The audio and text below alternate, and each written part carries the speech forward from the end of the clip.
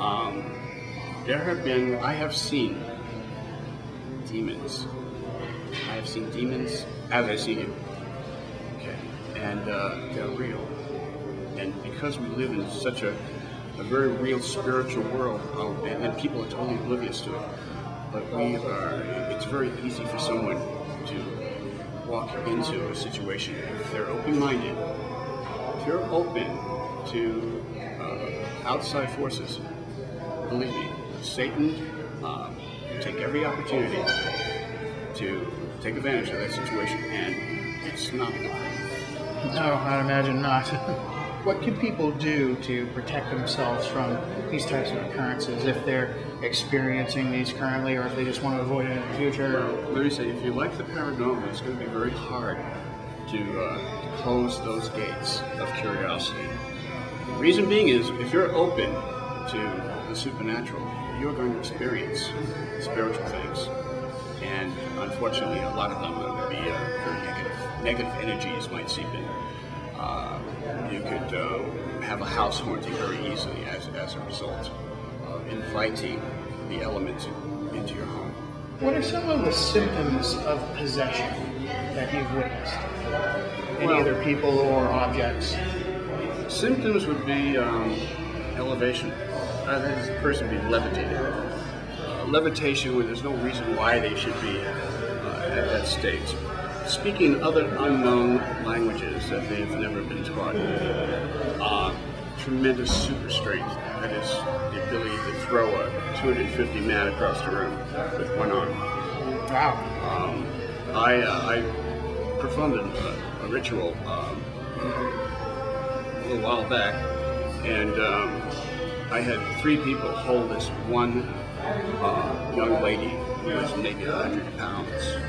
Three muscular men were holding her down, and uh, as a result, one of them um, had his nose broken. As a result, the arm loosened up, and uh, that person, that is, uh, well, that person was scared to death ran out of the room. I bet, course. yeah. Okay, and uh, and I was in the middle of the the actual ritual, so it was hard for me to stop at the, at the middle because that you know could be fatal. Um, and um, but anyway, the um, the woman, she um, when she would her highest peak would be the transformation of her um, of her physical self. Um, face would, would turn, uh, would change, discoloration around the face. Eyes would turn black, black as night. Um, The whites would- of the eyes of too, the not just the pupils? Totally black. Wow. Um, also, um, tremendous uh, ability to tell exactly what that individual, or who that individual is, where he's been, his personal affairs, and so on. Um, in other words, uh, the ability of clairvoyance know things that are that she would possibly not know. Um, these are just some signs. Um, there's a there's a, a physical manifestation that takes place outside the body, uh, where things are being um, lifted and moved. And what, what could a victim do to protect themselves? Well, the victim um, has has no choice. The victim is held hostage. The demon is is the is the person who's actually the terrorist. The, demon is is inside the person.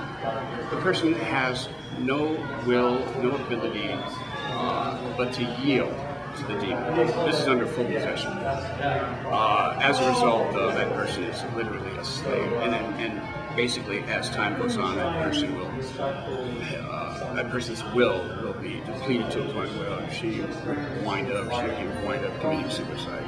And that's like, you know, that's the extreme, of course, but it does happen. And what about as far as a, a priest or someone trying to perform an exorcism? What do they do to ward off the demon? You said that one time some of them tried to follow you home.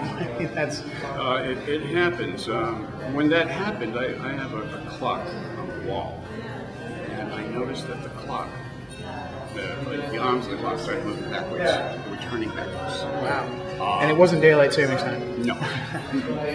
then uh, you would hear things in the house, and uh, which I had to immediately do a house party.